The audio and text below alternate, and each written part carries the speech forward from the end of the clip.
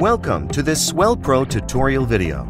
In this video, we will introduce how to carry out the compass calibration and the accelerometer calibration of the Splash Drone 3. Here, let's take the auto version as an example. Due to probable changes in magnetic fields and flight environments, it is recommended that you complete the calibration before the first flight. And if you have relocated to a position more than 100 kilometers from the location of the previous calibration. If the flight site changes, be sure to calibrate the compass. There are two ways to calibrate the compass. The quick calibration is done by calibrating the two primary axes, horizontal and vertical. The full calibration is done by calibrating the six-axis for increased accuracy. Quick compass calibration. Place the drone onto a horizontal surface. Power the controller on, then power the drone on.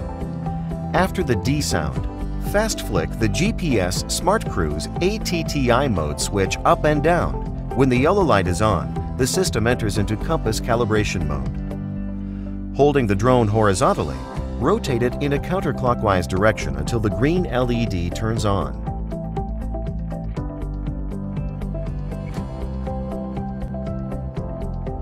Turn the drone 90 degrees to a vertical plane. With the nose pointing downward, rotate the drone counterclockwise until the LED changes to a blinking red, green, yellow, indicating the completion of the calibration. If the calibration procedure was not successful, the red light will stay on for 3 seconds. If this is the case, you will need to redo the calibration or carry out a full compass calibration. Full compass calibration. Place the drone on a horizontal surface. Power the controller on, then power the drone on. After D sounds, flick the return home switch to return home position. Pull the left joystick to the lower left corner, 45 degrees. The right joystick to the upper left corner, 45 degrees. Maintain this position for 2 seconds. The LED changes to a blinking red, green, yellow. The drone has entered into the full compass calibration mode. We will refer to the face of a clock for positional reference. 12, 3, 6, 9 o'clock. In the horizontal plane, rotate the drone counterclockwise for a full rotation, 360 degrees. Now, turn the drone on its back. Rotate the drone counterclockwise for a full rotation, 360 degrees. Turn the drone vertically, nose up, 12 o'clock, and rotate the drone counterclockwise for a full rotation, 360 degrees.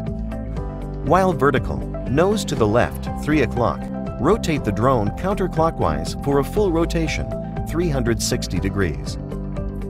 While vertical, nose pointing down, 6 o'clock, perform a counterclockwise rotation on 360 degrees. Finally, still in a vertical position, nose pointing to the right, 9 o'clock, perform a counterclockwise rotation for 360 degrees.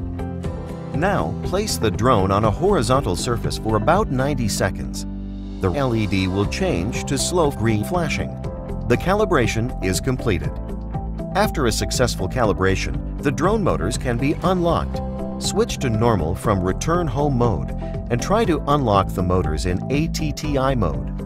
If the motors cannot be unlocked, the calibration was not successful. Please relocate to another place and repeat the above calibration procedure.